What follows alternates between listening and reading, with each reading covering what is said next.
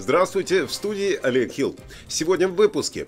Министерство обороны Великобритании в очередной раз опубликовало карту вторжения России в Украину. Теперь карта обновлена. Всемирная организация здравоохранения, э, так называемый ВОЗ, выступил с предложением для стран, которые быстро снимают ограничения от ковида. Нехватка быстрых зарядок для электромобилей усложняет их продажи. Ожидается, что цена на бензин в Великобритании превысит полтора фунта за литр. Сеть кафе Прет Манже увеличила стоимость фильтрованного кофе во многих своих магазинах более чем на 50%. Скандальный сатирический мультфильм о королевской семье отказался от второго сезона. Британию накрыл один из самых сильных штормов за последние десятилетия. Сейчас обо всех этих новостей поподробнее. Напомню, в студии Олег Хилл с выпуском самых актуальных новостей Великобритании на 18 февраля. Министерство обороны Британии подготовило и опубликовало карту направлений вторжения России в Украину. Схема под названием «Возможная ось вторжения президента Путина» появилась в официальном твиттер-аккаунте ведомства э, вчера вечером, 17 февраля. Согласно версии британских военных, первая фаза сухопутного наступления включает направление с западных регионов России на Киев и Днепр, а с Крыма вдоль Азовского побережья и с территории Белоруссии на Киев. Вторая фаза предусматривает движение из Днепра на Винницу, а также из Крыма в сторону Одессы. Россия сохраняет значительное военное присутствие, которым можно э, провести вторжение без предупреждения, заявили в министерстве. К слову, очередную точную дату нападения Лондон так и не назвал, видимо, еще не придумал.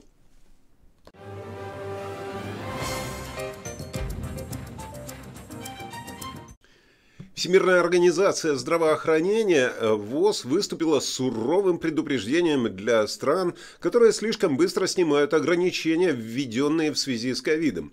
ВОЗ предупредила, что ослабление ограничений в некоторых случаях было слишком преждевременным. Сейчас э, я немного нервничаю из-за того, что мы как бы все отменяем, сказал доктор Майкл Райан, исполнительный директор ВОЗ по чрезвычайным ситуациям в области здравоохранения.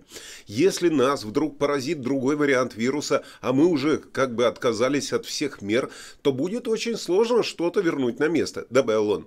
Эта идея о том, что мы просто собираемся бросить все, я думаю, во многих странах сейчас очень преждевременно.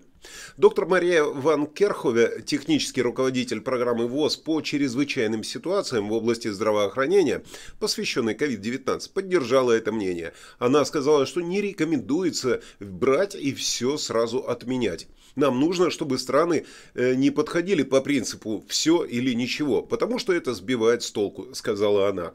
Я бы сказал, нас больше сбивают с толку вот все эти руководства и правила, ограничивающие нашу жизнь.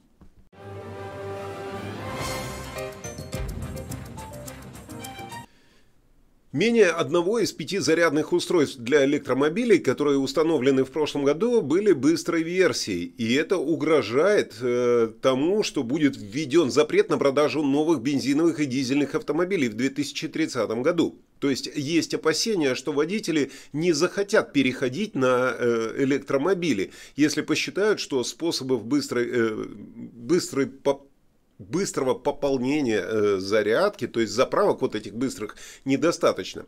Анализ РАК показал, что только 17% новых общественных зарядных устройств в 2021 году имели быстрые или сверхбыстрые соединения, которые могут заряжать автомобиль за 30-45 минут. Быстрые версии считаются решающими для продления беспокойства автомобилистов, которое, которое заставляет их опасаться разрядки батареи между зарядками, оставляя их в затруднительном положении.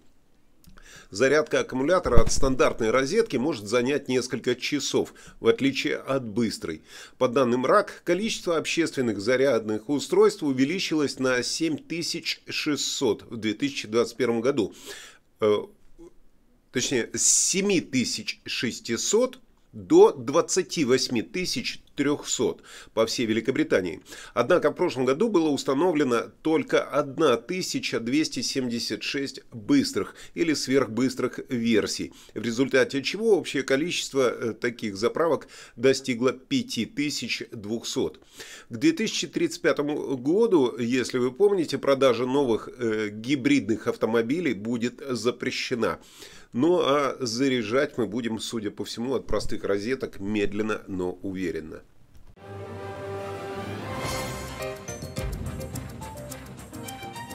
Тот же момент, если вы до сих пор не отказались от бензинового или тем более дизельного автомобиля, то знаете, что ожидается, что цена на бензин превысит полтора фунта стерлингов за литр после того, как баррель нефти в Северном море впервые с 2014 года превысит цену в 100 долларов. Об этом сообщила вчера все тоже РАК.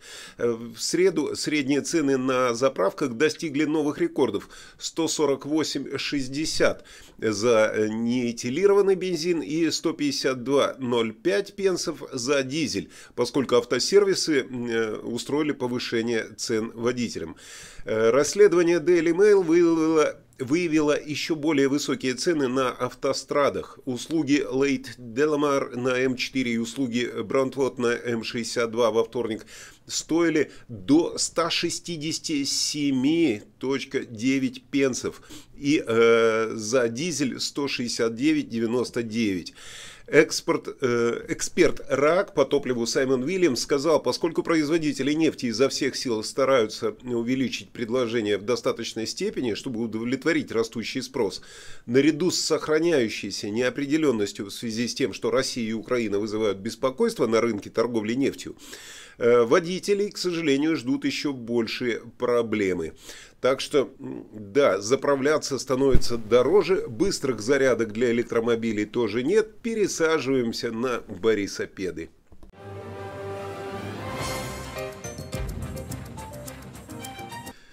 Цена на бензин не единственное, что дорожает, как вы замечаете. Многие работники, которые вернулись работать в офисы, пострадали от инфляционного повышения цен на их утренние горячие напитки. Компания Pret Manger э, увеличила стоимость фильтрованного кофе во многих своих магазинах более чем на 50%. Pret э, стал главной новостью летом 2020 года, когда люди пошутили, что премьер-министр Борис Джонсон призывал людей перестать работать из дома для того, чтобы спасти эту сеть кофеин спустя через несколько месяцев после начала пандемии. То есть идите на работу, по дороге купите кофе. Стоимость кофе, э, который был фильтрованный, просто ну, американо, в некоторых магазинах вырос с 99 пенсов до, полу, до полтора фунта стерлингов, а стоимость стандартного Flat White выросла с 2,85 до 3,15 фунтов. Действительно, многие из э, горячих напитков, которые подаются в этом кафе, теперь превысили отметку в 3 фунта стерлингов. И компания это подтвердила, э, что она изменила цены в This is Monday. Это вызвало возмущение некоторых постоянных клиентов. Один из них э, написал, фильтрованный кофе Пред подорожал с 99 пенсов до фунт 40. Это нанесло мне необратимый эмоциональный ущерб. Ну, эмоциональные это точно, да. Такие повышения резкие цен вызывают только эмоциональные ущербы.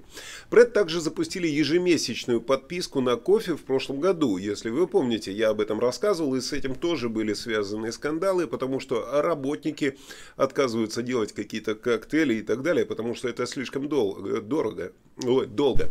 А э, цена на эту подписку в этом году тоже выросла с 20 до 25 фунтов. Так что от кофейка придется отказаться или варить его дома и носить с собой в термосе.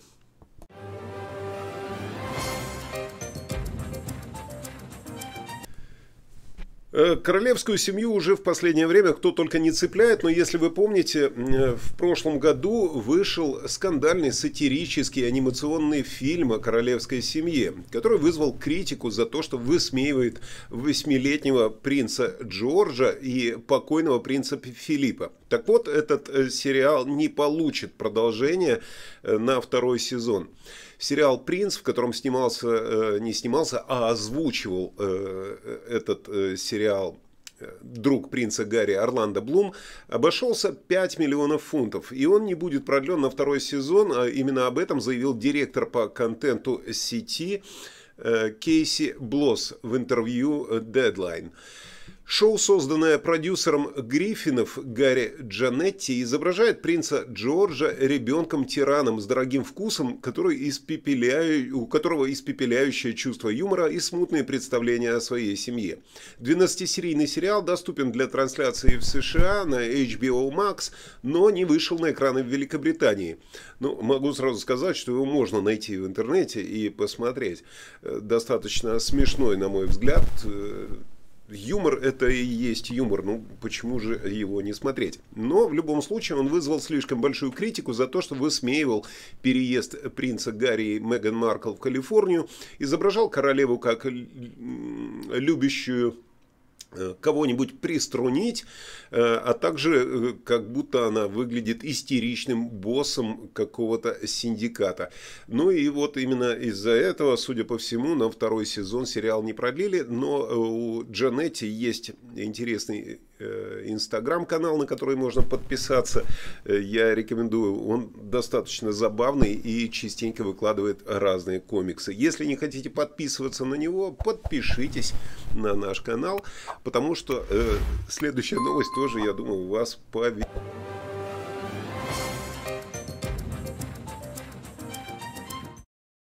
Нашелся суперкомментатор канала, я бы так сказал, некая Лидия Рапопорт, которая не разобралась, кого я представляю, какие средства массовой информации. Э, напомню, для тех, кто э, не понимает, я всю информацию беру из открытых источников, из газет, из BBC и так далее, то есть ничего от себя не придумываю.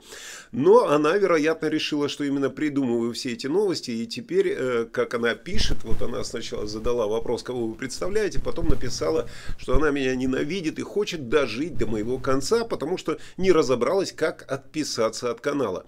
Дожить до моего конца – это здорово. Э, ну, и я обычно редко так делаю, но обращусь напрямую. Лидия, если вас интересует мой конец, то вам нужно было подсуетиться намного раньше, то есть лет так на 30, на 40, когда я искал себе того, кто будет иметь доступ к моему концу. А сейчас просто отпишитесь от канала, вы сохраните нервы в порядке. Отписаться от канала очень просто. Там же, где подписались, нажмите на ту же самую кнопку. А все остальные могут, э, еще раз напомню, просто подписаться и э, радоваться, что новости можно подавать в эфир именно таким образом.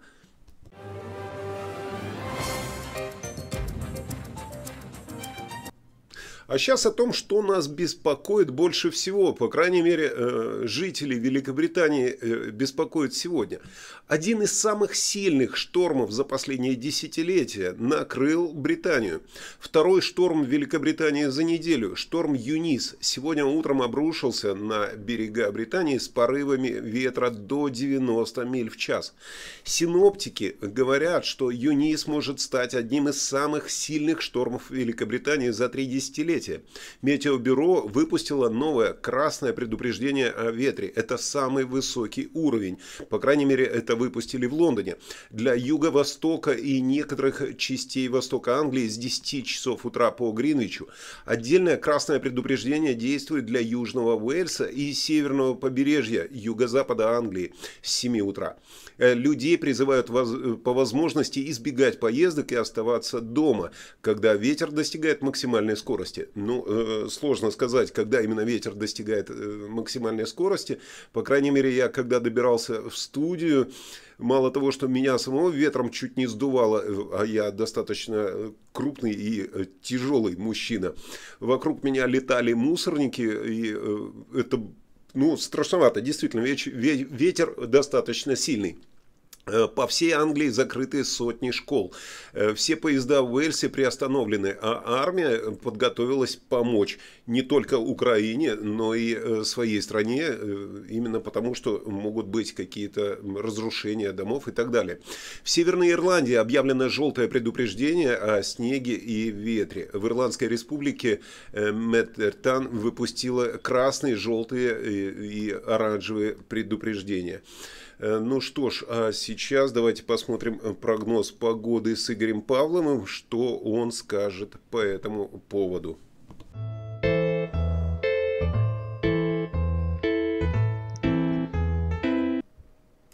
Всем доброго времени суток. Вы на канале русских новостей Соединенного Королевства. Сегодня две новости. Хорошая и плохая. Начну с хорошей. Пятница, можно выдохнуть, эта неделя прошла и можно планировать выходные. Плохая. Отдых возможно будет только за бетонными стенами, и то если они у вас крепкие. Так как метеоцентр предупреждает о очень, очень сильном ветре на южной и центральной части. Желтое предупреждение опасности на дорогах. Возможно будут отменены автобусы, поезда, самолеты. Если вы водители грузовых машин и микроавтобусов, будьте аккуратны на дорогах. Не подходите к деревьям, к мусорникам, а то можно на одном из них уехать. И постарайтесь меньше гулять, особенно на побережье южной стороны. В Шотландии ветер будет менее опасным, но там будут идти сильные снегопады. Нам с вами менее повезло, у нас дождь с переменной облачностью. Я имею в виду у нас, это на центральной части страны. Температура в Шотландии не больше 1 градуса, в центральной части от 5 до 10 градусов. На выходных ветер подутихнет, но мы будем ощущать его последствия. Прыгать на батуте, который прилетел от соседей, пилить деревья. Главное, чтобы все остались целые и ваши дома не пострадали. Если буря будет продолжаться, я запишу еще одно видео с погодой на выходных. Увидимся с вами в понедельник. Всем хорошего настроения.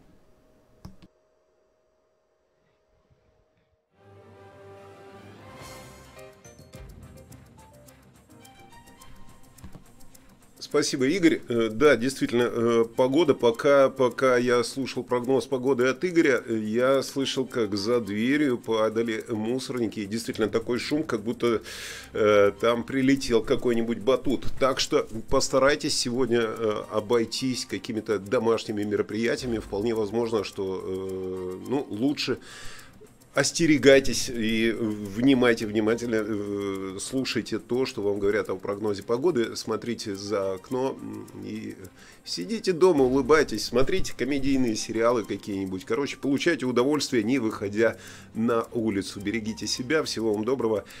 Э, встретимся с вами в следующем выпуске.